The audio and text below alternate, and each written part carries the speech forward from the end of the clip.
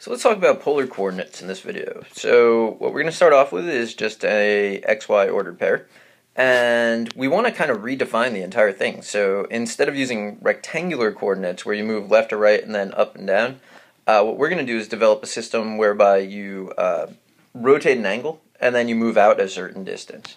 Um, so what I'm doing here is I'm connecting to the origin. I'm going to call that r because we've done that kind of all year with tons of things. Call this theta. That seems like the obvious choice. Um, and then I'm going to sketch in that right triangle that has uh, one side that's x and one side that's y. So I know right away that um, r is just going to be the square root of x squared plus y squared. So Pythagorean theorem would give me that. From the right triangle, I know x over r is cosine theta. And that means that I can say that x is r cosine theta. So that's one equation. Uh, y over r is uh, sine of theta, so y is going to be r sine of theta. And then a fourth equation that I'm going to use quite a bit is a relationship between theta, y, and x. So tan of theta is going to be y over x, or sometimes you say theta is the inverse tangent of y over x. Uh, doesn't really matter. Those are kind of the big four equations, so they're going to come up all the time. Uh, let's see how we use them. So I'm going to put those in the corner. And let's say I want to convert the rectangular ordered pair 5 comma negative 5. So first thing, I'll calculate r, square root of 5 squared plus the quantity negative 5 squared. And I'm hoping you can work out that that's 5 root 2. And now I need to figure out theta. So figuring out theta is always a little bit of a challenge. Uh, and in this particular case, I know that it just cuts the fourth quadrant in half, so I move over 5, down 5, uh, which means that I just automatically know that it's negative pi over 4.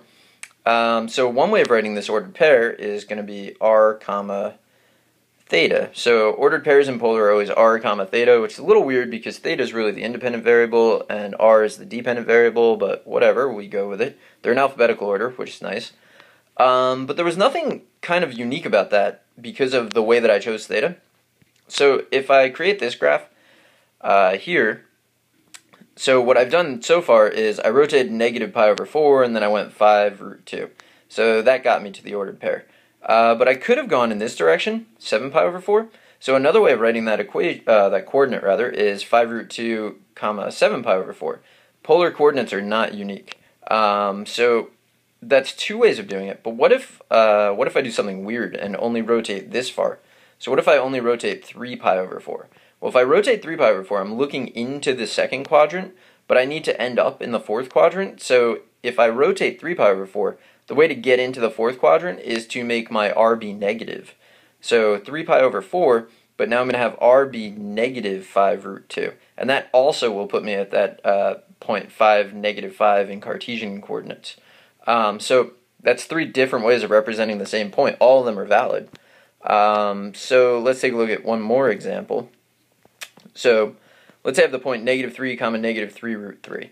And I'll calculate r. So hopefully you can get that r is equal to 6. Uh, figuring out theta always kind of a, you know, an adventure. So what I'm going to think is, uh, yeah, I have the point negative 3, negative 3 root 3. But what I could have had uh, in finding theta was any angle that passes through the original point will also point, pass through the point negative 1 half uh, negative radical 3 over 2. That's a point on the unit circle, and I actually know that angle. Um, so that's 4 pi over 3. So this uh, Cartesian point, negative 3 comma negative 3 root 3, can be written as 6 comma 4 pi over 3. But again, I could have gone uh, theta is negative 2 pi over 3, and r is 6, or I could have just gone pi over 3, and r is negative 6. Lots of different representations. Um, let's take a look at some lines. So say I have the line y equals 3x plus 5. Well, I like to write them in standard form before I convert them, uh, and maybe you'll see why in a second. So I'm replacing the x with r cosine theta and the y with r sine of theta. So you got to know those four formulas. I'm going to factor out r and get this. And then I'm just going to divide through. I'm also going to rearrange it because I like to have a positive leading coefficient there, like that. Um, so that's it. And uh, lines get uglier when you write them in polar coordinates. Things that are uh, kind of circular get nicer looking, uh, and things that are not circular get uglier in general.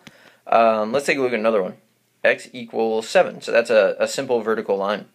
So x is r cosine theta. So r cosine theta is 7.